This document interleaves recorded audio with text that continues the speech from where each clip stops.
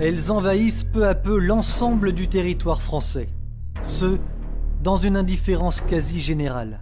Indifférence car que pèse une population modeste voire pauvre dans certaines zones du territoire face aux fortunes colossales des lobbies qui règnent en maître Des lobbies à qui l'on offre des tribunes dans les journaux, drapés d'un discours enjôleur et confortés par les pouvoirs politiques en place. C'est en fait dans une opacité absolue que les éoliennes débarquent un peu partout dans l'Hexagone, les campagnes, les villages. Il en existe 5000 aujourd'hui en France. Les hystériques de l'énergie soi-disant verte veulent en implanter 25 000 dans notre pays. Histoire d'un immense scandale légalisé par l'État.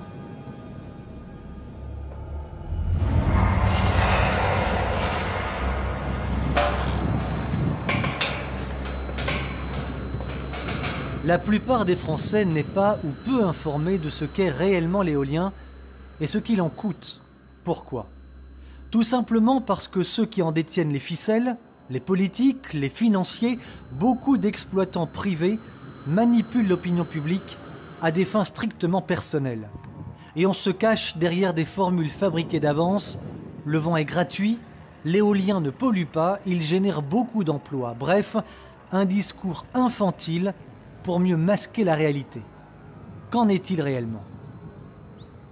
C'est des machines qui sont censées faire de l'électricité et en réalité elles en font très peu. Et en plus ce qui est beaucoup plus grave, c'est que comme elles marchent avec le vent, quand il n'y a pas de vent, il n'y a pas d'électricité.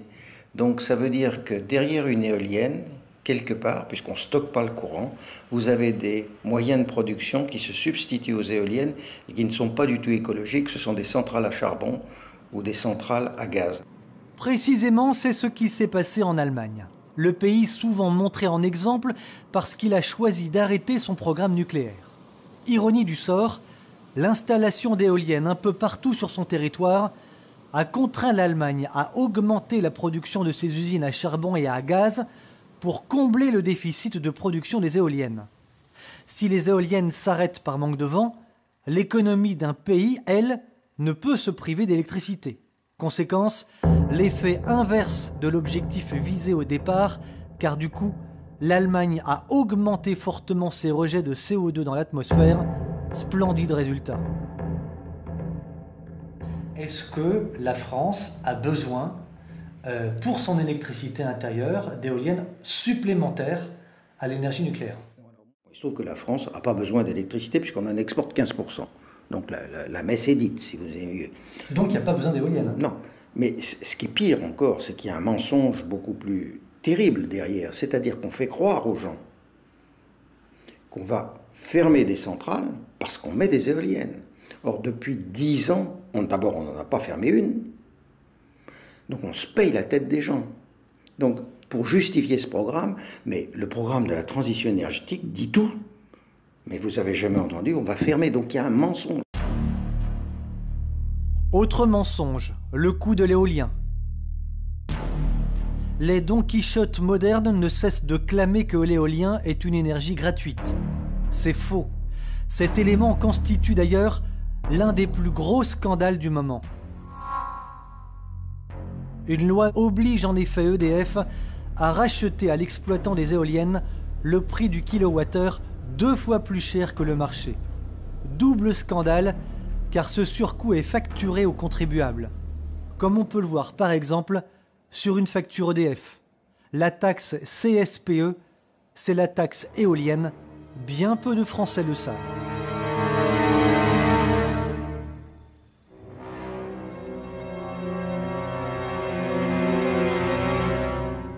Pour parvenir à leur fin, les exploitants d'éoliennes se parent des plus beaux discours et usent de pression dès que des habitants leur résistent. Philippe Le Bouvier, un habitant du département de la Manche, en fait les frais. Alors qu'un exploitant privé projetait d'encercler deux villages d'éoliennes, Montbray et Margueret, Philippe Le Bouvier a porté plainte. Est-ce que euh, l'exploitant vous a proposé une somme d'argent pour que vous arrêtiez la procédure? Oui, une, très grosse somme. Après m'avoir proposé des, trucs plus, plus bénins, notamment le rachat de ma maison, me trouver une, autre maison à quelques kilomètres, travailler pour eux comme gardien d'éolienne, ça, ça m'a fait... Gardien d'éolienne, oui. c'est le poste que l'exploitant vous a proposé. Oui. et ensuite, donc, comme ça ne fonctionnait pas, plus tard, ils m'ont proposé une, très grosse somme d'argent par, par intermédiaire d'avocats interposés. Hmm. Vous avez accepté? Non. Parce que cet habitant a refusé de vendre son honneur contre une grosse somme d'argent, plusieurs dizaines de milliers d'euros, l'exploitant développeur des éoliennes, un Allemand, va se venger en portant plainte à son tour. Dans ses demandes, l'industriel éolien va lui réclamer 2 300 000 euros de dommages pour perte d'exploitation. Peu importe qu'il y ait procédure ou pas, le projet s'est fait malgré tout. Les 10 éoliennes encerclent aujourd'hui les deux communes. Un vrai scandale, scandale d'autant plus important quand on sait les nuisances que les éoliennes occasionnent. Pour comprendre le stress et l'angoisse vécus par les habitants vivant à proximité de ces monstres de fer, nous avons voulu nous trouver ici même, dans le département de la Manche, sur la commune de Sortoville en Beaumont. Vous pouvez constater, juste derrière moi, le bruit produit par ces machines.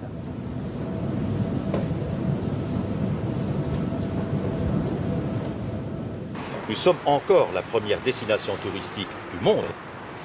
Et quand vous voyez la carte des régions où on veut implanter des éoliennes, elle est catastrophique. Et je pèse mes mots, c'est une catastrophe. Je dirais, en ce qui concerne, en, réponse à votre question, la population, les gens ne sont pas informés du tout.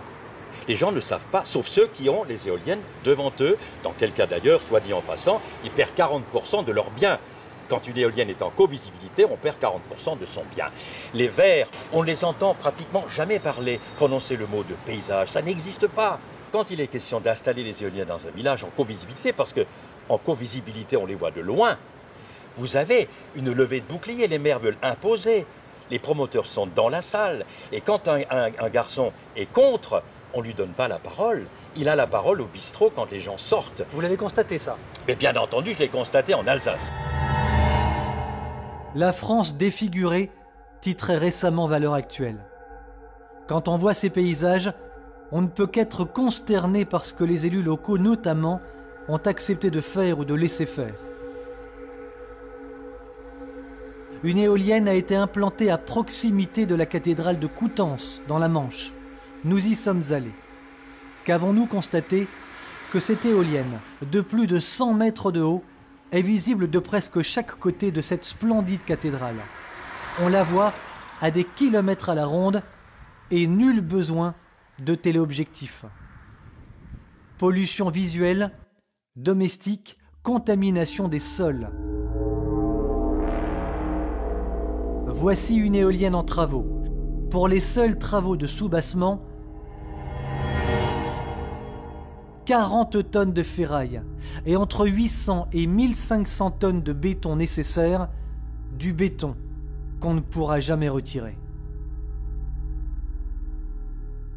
J'ai assisté à une réunion publique euh, d'une association euh, anti-éolienne dans laquelle participait un député qui a publiquement avancé les chiffres du tarif euh, pour acheter les voix des conseillers municipaux pour qu'ils votent favorablement pour un projet éolien. C'était de l'ordre de 100-150 000 euros par voix.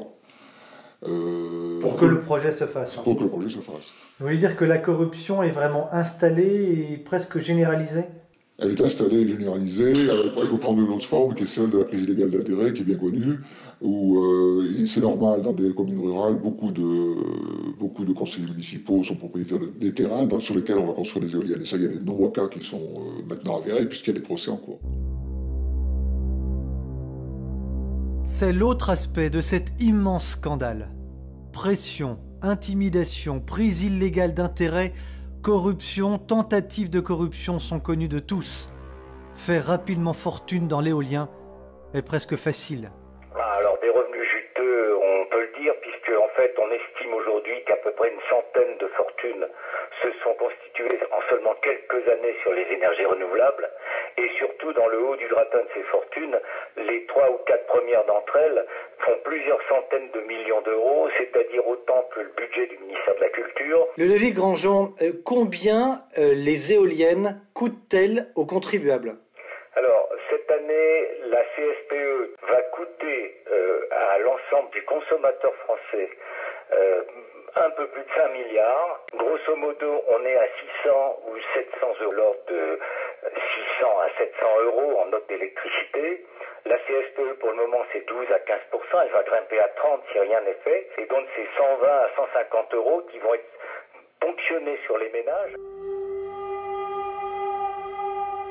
L'éolien terrestre se développe, l'éolien offshore et l'hydrolien ont également le vent en poupe. Des dizaines de projets ont déjà fleuri un peu partout sur le littoral français. Saint-Nazaire, Paimpol, Saint-Brieuc. On parle de 1200 éoliennes au large des côtes. Et on vient d'apprendre qu'un projet secret de parc offshore au large de l'île d'Oléron était à l'étude. La Hague, plus au nord, la Hague qui a déjà son usine nucléaire n'est pas épargnée. On parle ici de six fermes tests entre les côtes françaises et les îles anglaises. On sait qu'il y a six opérateurs qui ont répondu pour pouvoir bénéficier de mise en place de fermes pilotes pour mettre leurs démonstrateurs, puisque la vraie hydrolienne n'est toujours pas techniquement euh, euh, finalisée. Donc chacun va mettre son petit moulin à eau dans la zone réservée pour six fermes. Et à terme, si vraiment ça marche, donc on va faire l'hydrolienne et là on va faire des champs complets des champs complets d'hydroliennes. Des CNS parlaient de 1000 hydroliennes. Quelque part, ces gens-là, ou ils n'ont jamais mis le, pied sur un bateau dans la zone considérée, parce qu'il y a quand même un, gros inconvénient, c'est que nous avons des voisins proches, et entre Aurigny et la pointe de la Hague, il y a 10 km. Donc mettons 1000 éoliennes côté français, hydroliennes, pardon. Et puis alors Aurigny, avec la Grande-Bretagne et Guernesey, a aussi sa propre volonté de mettre des hydroliennes partout dans leurs eaux. L'absurdité absolue face à une hystérie intellectuelle et financière. Car en installant des hydroliennes et des éoliennes offshore sur le littoral, les bateaux vont voir leur zone de pêche réduite et les obstacles considérablement augmentés. À l'heure où les hommes politiques ne cessent de parler d'économie, on engloutit des milliards dans un système qui massacre la France, ne produira aucun emploi durable et au final payé par le contribuable pour enrichir encore des privés.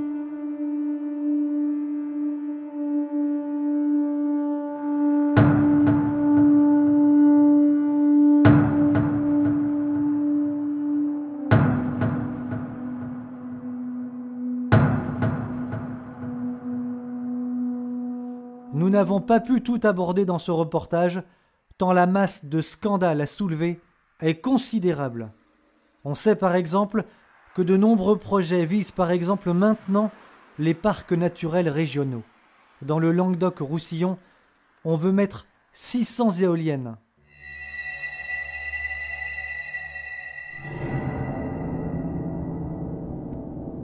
Il est temps que les Français les politiques, les écologistes, un tant soit peu honnêtes, fassent cesser cette gabegie dont les conséquences seront à très court terme irréparables.